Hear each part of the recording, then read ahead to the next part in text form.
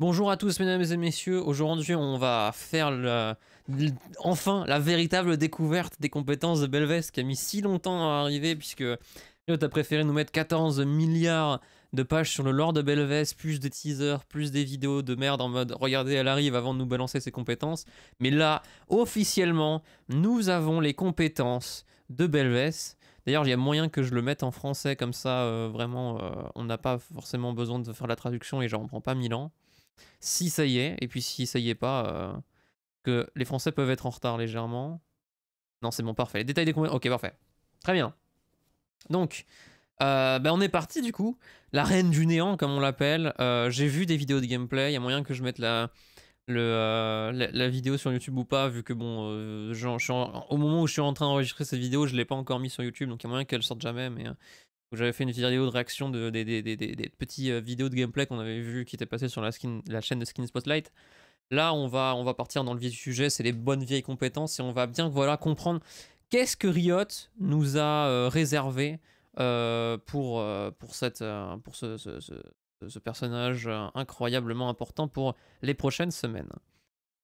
Prosternez-vous devant l'impératrice et plongez dans la mer de lavande au patch 12.11. Je vous suis infiniment supérieur, je ne connais ni la faiblesse ni la pitié. Euh, on va voir, on va voir, on va voir, madame. Donc, passif, passive, compétence passive, mer de lavande.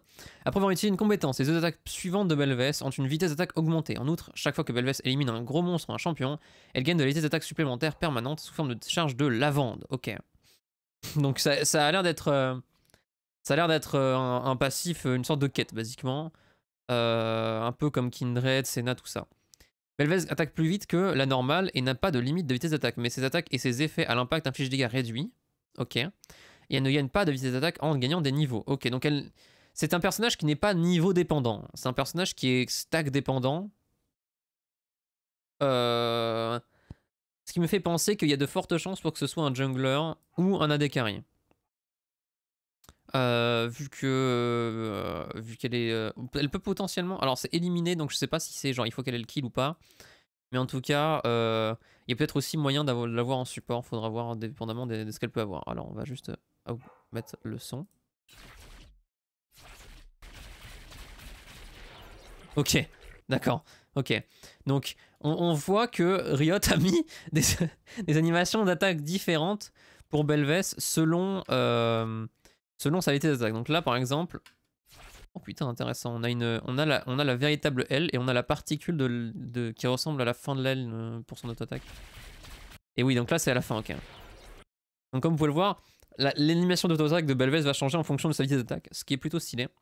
Et c'est vrai qu'en fait, si on voit sa gueule, merde, pas comme ça du coup, parce que du coup c'est en plein écran, plein écran, mais si on voit sa gueule ici, on voit quand même qu'elle a l'air euh, plutôt humaine en début de partie, en tout cas, même même en forme humaine. Ce qui était un peu le, truc qu'on se disait, comment est-ce qu'ils vont gérer la, comment dire, son caractère difforme, j'allais dire, mais je sais pas si c'est difforme, je sais pas. Le fait qu'elle soit à moitié Raymanta, à moitié homme, mais en, réalité c'est vraiment juste une Raymanta euh, du néant, mais euh, il y a une espèce de, un peu comme les prédateurs euh, animaliers, une sorte de tête humaine factice qu'elle utilise pour, pour euh, comment dire, pour euh, simuler son humanité en réalité, alors qu'en alors qu'elle, euh, voilà, elle est pas vraiment humaine quoi. Même sa, sa bouche a, une, a des problèmes de synchronisation labiale et, et elle fait genre elle marche alors qu'elle marche pas vraiment, genre elle, elle se balance un petit peu quand elle marche alors qu'en fait elle flotte depuis le début, mais c'est juste pour faire genre qu'elle marche et qu'elle est humaine. Bref, c'est assez intéressant. Mais ouais, du coup, rien que donc basé sur ce passif là, on peut savoir que déjà euh, on est sur un personnage qui est axé sur un le DPS, vu qu'on parle les deux attaques suivantes, tout ça, un truc comme euh, un truc basiquement le passif de Lee Sin, ça par exemple. Ça pour le coup c'est basiquement le, passif de Lee Sin, ça. Euh, chaque fois que Belvès élimine un gros monstre un champion, il gagne des attaques. Donc ça c'est, on avait dit, on avait dit que ça c'est un truc qui va potentiellement la pousser à farmer pas mal de trucs. Euh, après les, gros monstres, je sais pas s'ils parlent de, gros monstres à base de Drake, euh, Nashor. Euh, c'est ça. Je sais pas si c'est un truc à base de Drake Nashor ou si c'est euh, aussi genre des, monstres genre Blue Buff, tout ça. Il faudrait voir à peu près qu'est-ce que c'est, mais basiquement oui. Euh, jungler m'a l'air d'être son rôle privilégié, même si je pense qu'elle peut aussi être AD carry ou... et potentiellement support. Potentiellement support, on... va voir un petit peu au niveau de son build, mais potentiellement support. Et le fait qu'elle ne gagne pas d'ITS attaques en gagnant des niveaux et que ce soit sa stat la plus intéressante et celle sur laquelle on doit s'orienter en tant que en que Belves, ça me donne vachement l'air d'un personnage qui n'a pas forcément besoin d'avoir énormément de niveaux et qui donc ne gagnerait pas particulièrement à être sur une solo lane comme la mid lane ou la top lane. Donc qu'est-ce qu'on a ensuite? Alors, charge du néant. Belves s'élance dans une des quatre directions, infligeant des dégâts à tous les ennemis qu'elle traverse, appliquant ses effets à l'impact. Chaque direction possède un dé de récupération propre qui dépend de la vitesse d'attaque. Ok. Donc plus elle a la vitesse d'attaque, plus elle dash vite. Enfin, souvent. Alors, on va, on, va mettre le son encore une fois.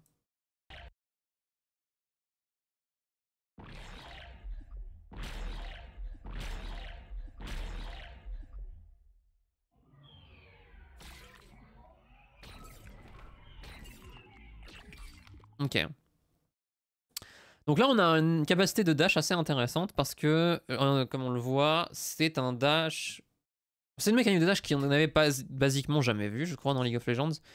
Euh, qui est du coup un mix avec la mécanique d'Urgot, qui était euh, les, fameux petits fusils à pompe de, ses jambes qui, qui tapent avec un cooldown dans, une des directions qu'il, utilise basiquement, dans lequel il tape.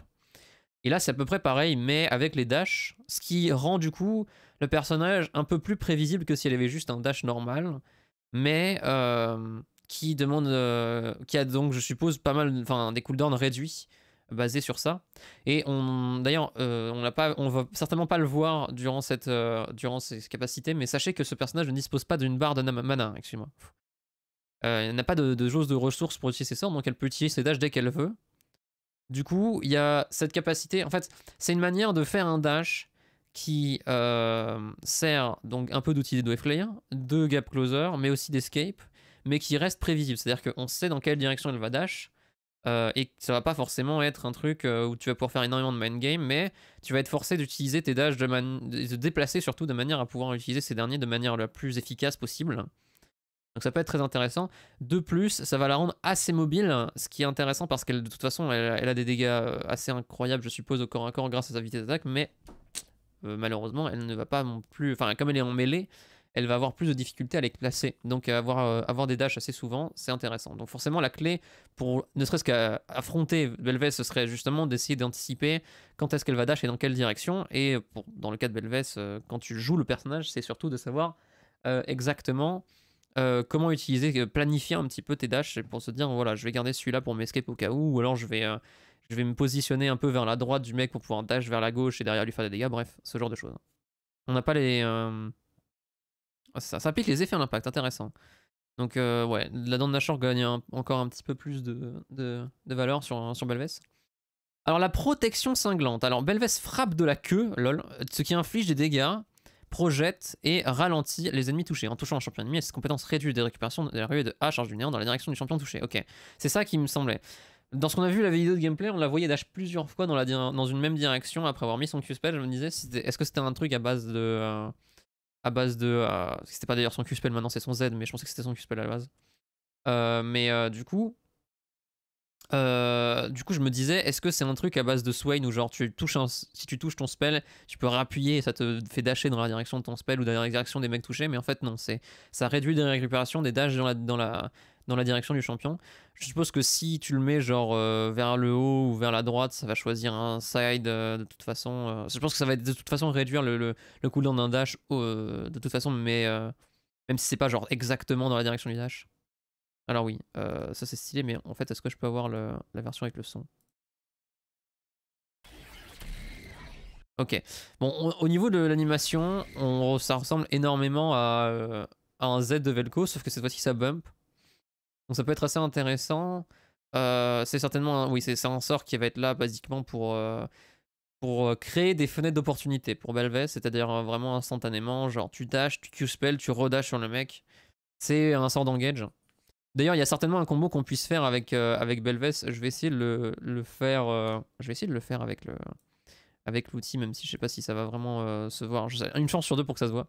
Mais genre, avec Belvest, tu vas vouloir genre dash en, vers en haut à droite, euh, mettre ton Q-spell, euh, puis redash sur le mec si ça touche. Et ensuite, après, tu redages dans la direction opposée. euh, genre, tu, tu fais le Q-spell, tu dash, tu mets deux ou trois attaques et tu utilises ton dash de l'autre côté pour pouvoir te barrer derrière. Une histoire d'avoir des patterns d'agression assez intéressants. Mais euh, du, coup, dans ce cas-là, on pourrait, euh, on pourrait voir ce genre de truc à faire. Euh, le fait qu'elle soit assez mobile et qu'elle dispose d'un sort comme ça qui permet de clear la, enfin, clear, pas la jungle, mais clear potentiellement des vagues de sbires de manière assez intéressante, me fait penser qu'elle peut être intéressante en termes d'AD carry hein, pour l'instant.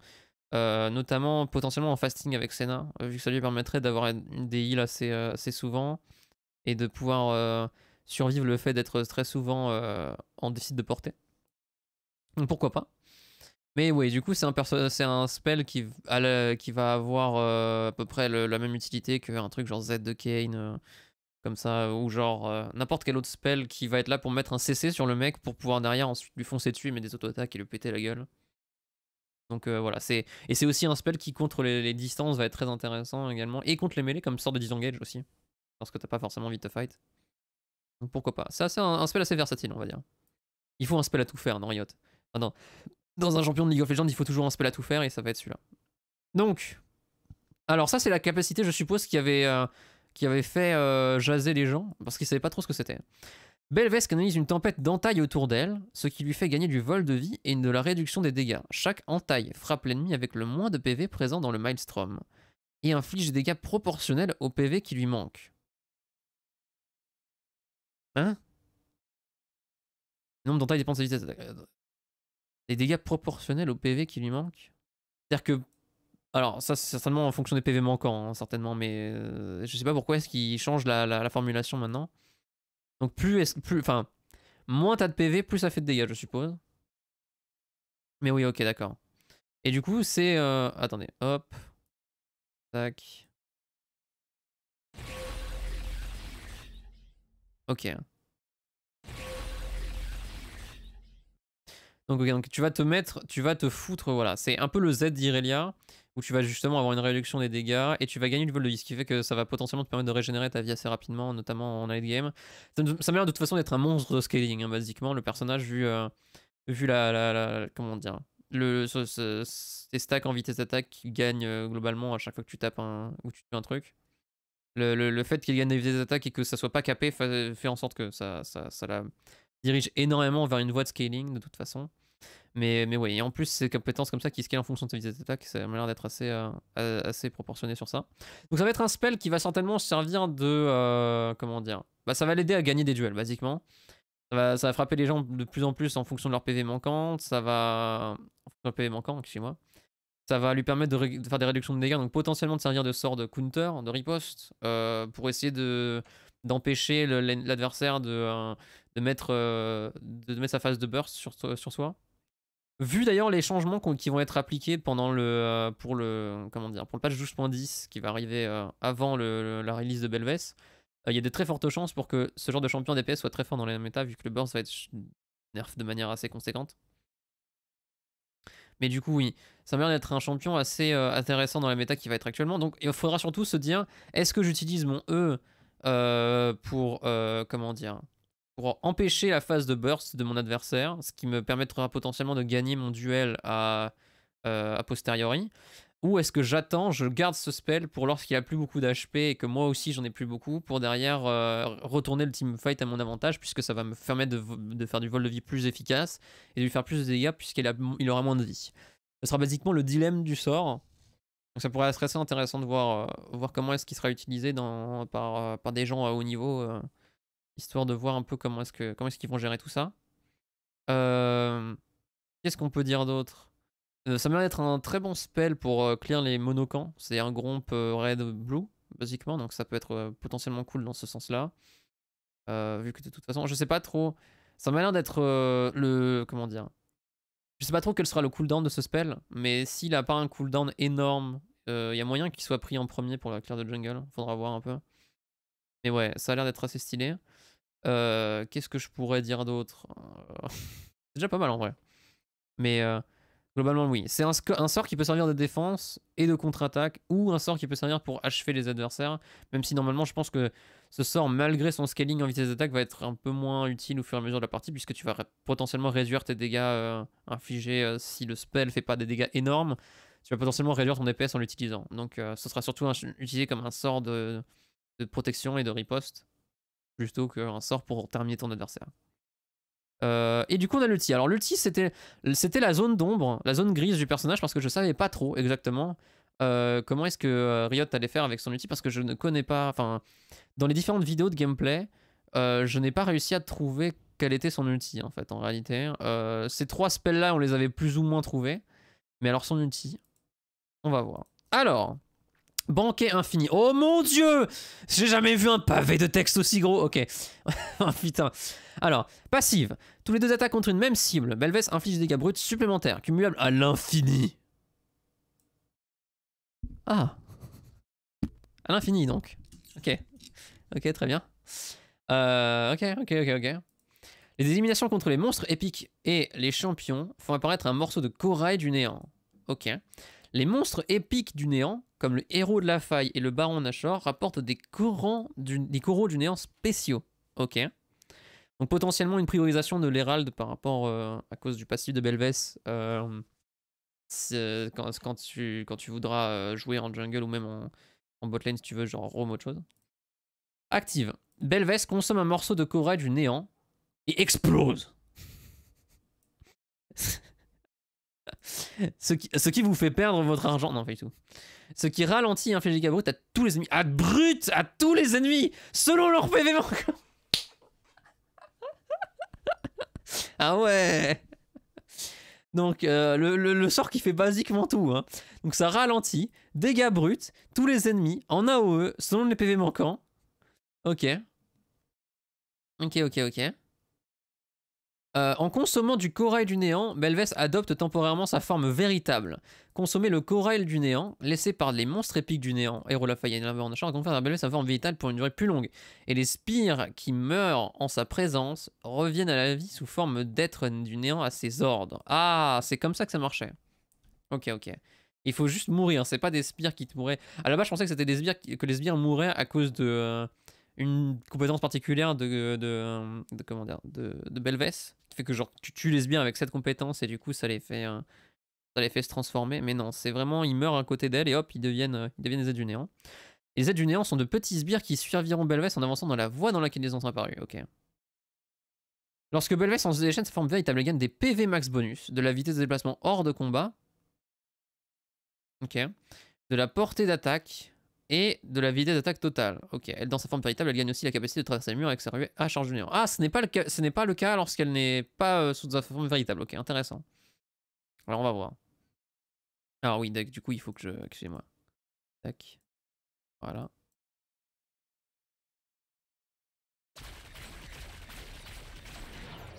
Ok, donc c'est voilà, c'est ça, ce, ce petit corail. Et du coup là, regardez, on a clairement une forme différente. Oh putain.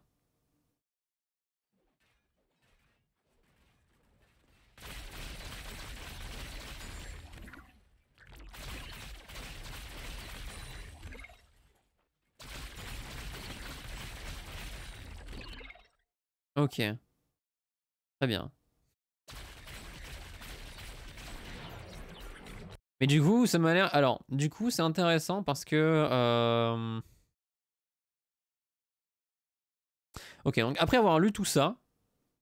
Oh putain, ça a l'air d'être stylé. Ça, c'est son skin, ça? Oh, c'est le Battle Ball Oh, ça a l'air d'être stylé. Bref. Euh, après avoir vu tout ça, je ne vois absolument aucun... aucune raison de pourquoi c'est un sort ultime et pas un passif. Je veux dire, il n'y a aucun truc qui nécessite autre chose que le qu'un clic droit en fait, à partir du moment où on a ça, mais ok, à la limite. Mais du coup, oui. Euh, j'aime pas trop l'idée de, cet outil du coup, parce que ça m'a. En fait, c'est un outil qu'on peut rapprocher de l'outil de Viego basiquement. Le problème, c'est que l'outil de Viego marche avec son passif. Et c'est son passif le vrai truc. C'est-à-dire que tout ce qui est le fait de prendre possession des champions une fois qu'ils sont morts et, euh, tout ça, ça c'est le passif de Viego, c'est pas son ultime. C'est ça que je trouve un peu bizarre avec Belves, c'est que son, son ulti n'est pas un vrai ulti, ça pourrait être un clic droit, quoi. Ça pourrait être un passif que tu fous là, là, et, euh, et derrière, euh, son ulti pourrait être autre chose, quoi. Mais après, je me doute bien qu'ils ils ont basé tout l'équilibrage sur ces trois spells-là, et pas sur l'ultime. Mais c'est vrai que ça fait un peu bizarre, du coup. Après, ils veulent aussi certainement. Euh, je comprends que le passif soit mis sur l'ulti parce qu'il y a moyen que ce soit. Euh, oui, que ce soit un truc. Euh, ce soit un truc à foutre uniquement sur le R pour pas genre rendre son son early beaucoup trop pété. Et pouvoir lui donner des scaling tous les, au niveau 11, 6, 11 et 16 qui est différent de, lui donner un passif. mais bref, ça serait un peu. c'est un peu bizarre. Mais bon, euh, c'est un peu bizarre comment l'outil fonctionne. Bref, en dehors de ça, euh, du coup, il va falloir appuyer sur R, ce qui va être assez chiant au niveau de la mémoire musculaire d'ailleurs. Parce que je vais, être, euh, je vais vraiment être habitué à appuyer sur clic droit pour ramasser l'âme d'un champion et prendre possession de lui avec, comme avec Vigo. Mais là, il va falloir appuyer sur R. J'espère que c'est pas forcément le cas et qu'on pourra appuyer sur clic droit aussi. Mais bon. mais du coup, c'est ça. Basiquement, on tue un ennemi ou un baron Nashor ou un Drake ou un héros de la faille et on devient Dieu. Voilà, en gros on devient Dieu quoi. C'est ça. PV max bonus, basiquement comme les ultis euh, qui te rendent, qui te font devenir Dieu, genre euh, Renekton, Nasus, tout ça. La vitesse de déplacement hors combat, par contre, j'ai absolument aucune idée de pourquoi. Je, pense que ça aurait été limite plus intéressant de faire de la vitesse de déplacement euh, vers les ennemis plutôt que la vitesse de déplacement hors combat, puisque ça n'a aucun sens. Parce que c'est, elle est censée l'adopter temporairement. Je sais pas combien de temps dure le temporairement, mais euh, si c'est genre une dizaine de secondes, je sais même pas si elle va avoir le temps d'être hors combat en fait. Donc euh, c'est ça que je trouve un peu bizarre. J'ai l'impression que c'est un truc qui a été foutu comme ça au cas où, mais euh, pour essayer de, faire en sorte que ça serve même quand tu, fais des escarmouches et que tu tues un mec et que après tu veux, tu veux aller autre part ou faire des trucs. La portée d'attaque c'est très intéressant sachant que Belves a besoin de, de pas mal de portée d'attaque. Là on voit qu'elle a une portée d'attaque plutôt faible en réalité à peu près le cercle de, de, son, de ses dashs. Et là, après, on a, on a le fameux... Euh, ouais, voilà, on a ça là. Mais c'est intéressant parce que du coup, comme vous pouvez le voir, euh, son, son, ouais, son animation de Totak est très très différente de ce qu'on avait vu dans les, dans les gameplay trailers. Il y a moyen que ce soit dû au fait qu'elle a beaucoup de visées d'attaque. C'est très intéressant, je trouve. Ouais. Mais du coup, oui, c'est basiquement un champion qui est basé sur le fait d'avoir des resets, ce qui veut dire qu'elle a énormément de snowball dû au fait d'avoir un seul kill. Comme vous pouvez le voir, elle gagne de la vitesse d'attaque, de, la, portée. Euh, non, oui, ça. Vitesse d'attaque, de la portée, des PV max, euh, et en plus, elle, elle peut traverser les murs, ce qui fait qu'elle peut plus facilement avoir d'autres kills et donc snowball encore plus. Et surtout, en plus, euh, comment dire et en plus, euh, oui, les, euh, les, aides du néant euh, que tu peux avoir te permettent de potentiellement avoir vachement plus de, de push. Parce que dites-vous que il va potentiellement y avoir des games en professionnel où l'équipe qui va avoir Belves va faire un ace, mais auront pas, auront pas forcément les sbires alliés parce que à cause d'un mauvais wave management, ils seront genre giga loin pour, et ils pourront pas forcément terminer la game. Et ben avec Belves, il y aura potentiellement moyen de buter après le teamfight, vu que tu as toujours ta forme véritable, tu pourras buter tes, euh, les, les, sbires qui arrivent, les, les sbires ennemis qui arrivent, et euh, te fabriquer ta propre wave pour peut-être potentiellement terminer la game grâce à ça. Ça pourrait être arrivé. Je sais pas si ça appliquera le debuff des, euh, sbires. Ah, peut-être qu'ils l'appliqueront pas. Tu me diras.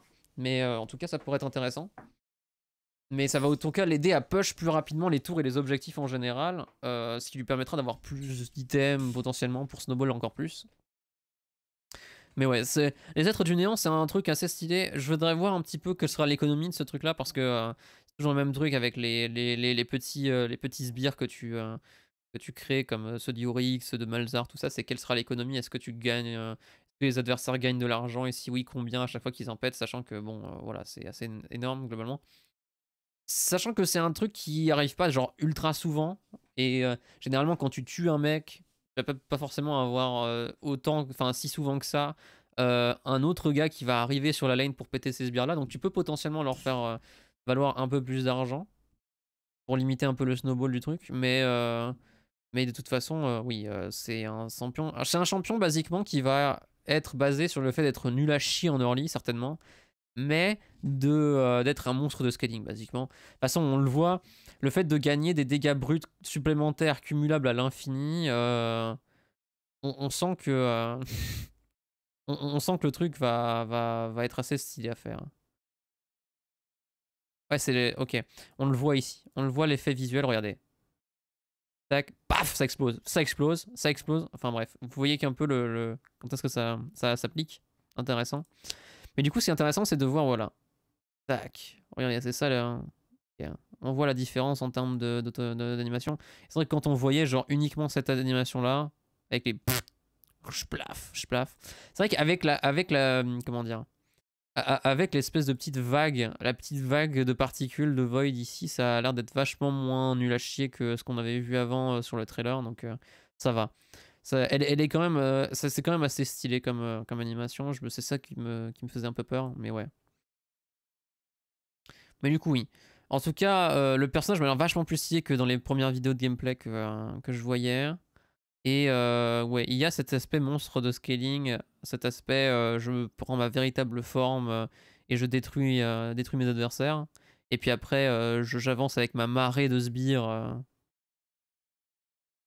qui va m'aider à genre détruire les, les, gens en général et détruire leur structure. Plutôt stylé, c'est plutôt stylé. Ouais, le champion, me, le champion me hype de fou. Le champion me hype de fou en réalité. Je trouve ça vachement fort, vachement stylé. Alors, c'est un peu, c'est un peu le, le, comment dire, l'effet typique de faire du neuf avec du vieux, c'est-à-dire que on a cette mécanique de reset qui fait vachement penser à Viego en général, mais qui marche quand même différemment dans le sens où euh, tu as euh, cette espèce d'explosion gigantesque qui arrive euh, une fois que tu as tué l'adversaire, mais c'est pas un ulti qui va t'aider à terminer l'adversaire. Enfin, si, t'as le passif un peu, mais c'est-à-dire c'est pas genre le gros ulti de, euh, de Viego. C'est-à-dire que c'est un champion qui va être vachement plus punissable dans le sens où elle peut pas traverser les murs avec ses dashs sans qu'elle ait déjà eu un reset. Ce qui fait qu'elle va être vraiment, vraiment nulle à chier, en tout cas en early mid-game, quand elle a pas un kill. Mais dès qu'elle va avoir un kill, elle va devenir instoppable. et elle va potentiellement renverser le cours du teamfight avec cette espèce d'explosion gigantesque qu'on a vu là. Regardez-moi ça. Ok. Alors j'aimerais bien, j'aimerais bien comparer un petit peu les. Alors ça m'a l'air d'être légèrement plus, euh, comment dire, légèrement moins large que l'ulti Nunu. Mais ça a l'air. Et, je pensais qu'il y avait un sweet spot, qu'il allait avoir un sweet spot dans le dans l'ulti, mais non, ça touche. Euh, l'explosion fait autant de dégâts au milieu que euh, que sur les côtés. Et du coup, c'est des dégâts bruts. Des dégâts bruts. Non, vraiment, là pour le coup, pourquoi des dégâts bruts? À la limite, les dégâts bruts supplémentaires cumulables à l'infini, bon, on est d'accord, elle est censée détruire absolument tout sur son passage euh, en DPS, on a compris. Mais pourquoi l'explosion en AOE, qui est dégâts selon les PV manquants des gens et qui ralentit, est obligé de faire des dégâts bruts Déjà, est-ce qu'on a un spell, un spell dans l'intégralité du jeu qui fait des dégâts bruts et qui slow en même temps? Je suis même pas sûr que ça existe. Donc, ça me fait un peu chier que ce soit des dégâts bruts. Parce que si c'était des dégâts magiques, on en aurait pu parler, tu vois. On aurait pu dire, voilà, c'est bon, c'est des dégâts magiques. Euh. c'est pas censé être aussi game breaker que ça. Il y a moyen que si ce soit trop fort, il change ça en dégâts bruts. Enfin, en dégâts magiques, je veux dire. Parce que selon moi, c'est ce qu'il doit faire. Déjà que ça va augmenter de manière assez drastique en fonction des PV manquants des gens. Pour moi, c'est pas censé en plus sur des dégâts bruts. Mais, euh, mais voilà. Euh, après, il y a tout ce truc de, de, la buff et tout en termes de, avec sa forme véritable que je trouve assez stylé. Mais euh, c'est vrai que c'est à l'air d'être un bon gros auto-attaqueur de, sa mère. Euh. Du coup, la question c'est où est-ce qu'elle va être jouée et qu'est-ce qu'elle va être jouée Alors, normalement, ça a l'air d'être un bruiser AP comme les gens avaient dit, mais je trouve vraiment qu'il y, y, a vraiment un argument pour la jouer AD avec Ginzo, tout ça.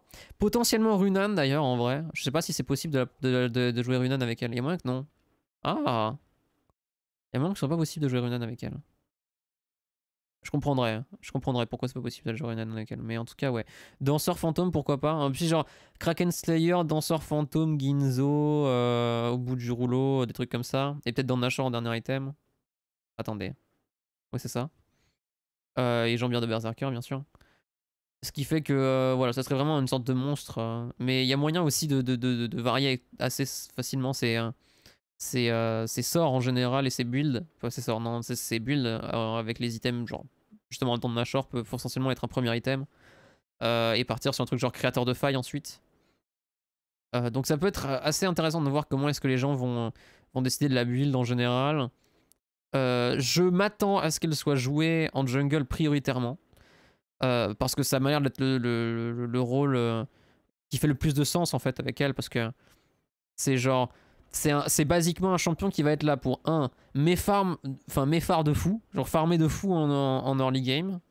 Puis derrière, potentiellement essayer de tenter un gank avec ses dash, puis euh, avec ses dash derrière, puis avec son Q-spell pour pouvoir genre euh, rentrer sur un mec, le gank, euh, le tuer, péter la vague de sbire avec son ulti, aider ton, ton adversaire, enfin ton adversaire, aider ton, ton, ton laner à push, et en plus de ça, non seulement il push, mais ensuite maintenant il push avec une vague entière de sbires de plus, euh, représentés par tes petits sbires de merde qui vont en plus suivre la voie et qui, et vont pas genre te, te, suivre pour aucune raison. Ils vont aller sur la voie. Donc ils vont aider ton laner à push les waves, à te dire des plaques et tout. Sans que toi t'aies besoin de rester là et tu pourras potentiellement en, en profiter pour continuer à faire tes camps et à farm. Ça m'a l'air d'être un champion à peu près comme ça. On peut potentiellement la jouer en bot lane aussi. Je pense que les, escarmouches comme ça, où elle peut potentiellement avoir des kills grâce à, à des gangs de jungler, ou potentiellement avec, euh, au bout d'un moment, vu qu'elle scale de fou furieux, avec un support soit engage pour pouvoir lui permettre de poser ses dégâts, ou alors avec un enchanteur pour passer la phase de lane plus facilement. Derrière, obtenir masse d'items, euh, et ensuite, euh, ben, basiquement détruire la game grâce à ça, quoi. c'est, ça peut être intéressant. Ça peut être très intéressant. Euh, et, potentiellement en support si vraiment elle peut quand même réussir à faire des trucs. Euh, c'est-à-dire potentiellement avoir genre un seul item genre dans potentiellement euh, ou un truc comme ça. Et, partir et derrière, derrière détruire à peu près la, game avec une sorte de semi-bruiser comme ça qui fera pas mal de dégâts. Et qui aura moult dash. Et genre t'as juste à derrière mettre tes petits sorts en lane, faire tes petits trucs, gagner des escarmouches. Euh, et potentiellement, je pense que son E par exemple pour être assez intéressant contre les supports mêlés. Parce que tu auras juste à te foutre, genre, je sais pas moi, genre dans un bush, sachant que le, bush à côté est wardé, et genre tu tapes ton, le, support adverse à travers le bush comme ça. Euh. Ça pourrait être intéressant. Ça pourrait être intéressant.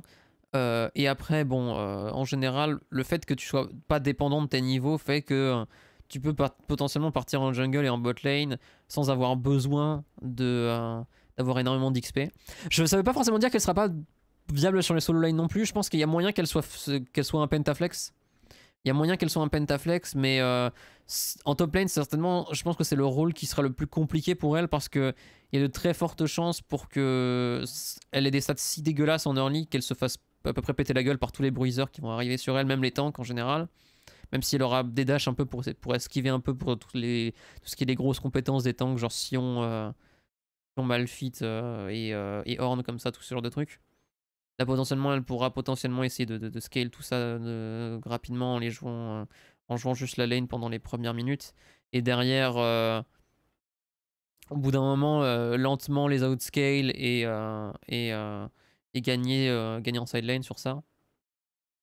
Donc il y, a potentiellement, il y a potentiellement une capacité de pentaflex. Il faudra voir quel sera son clear de jungle, surtout en early. Il faudra voir quels sont ses ratios. Et il faudra voir un petit peu si euh, comment est-ce qu'elle va scale à peu près. Euh, euh, et, normalement, ça devrait être assez intéressant de voir un peu comment est-ce que le personnage va évoluer. Mais je suis extrêmement, extrêmement hypé pour sa sortie. Il y a moyen que je fasse une petite partie sur le PBE pour pouvoir faire des théories craft et tout. mais ça a l'air très très stylé. Et en ce qui concerne voilà, son magnifique skin Boss Battle, c'est ça, hein, Battle Boss Belves. Alors c'est très drôle parce qu'on dirait pas un skin battle boss. En fait, sa tête ne ressemble pas à un skin battle boss en fait. Elle a l'air limite trop complexe pour le peu de rôle qu'elle joue. Mais ça pourrait être assez marrant de voir un petit peu euh, comment est-ce qu'ils ont fait. Les, animations à base de... Euh, à base de d'effets un peu arcade euh, pour, pour être assez stylé à voir, notamment avec ses auto-attaques, je trouve, ça pourrait être stylé. Et avec son, son Z.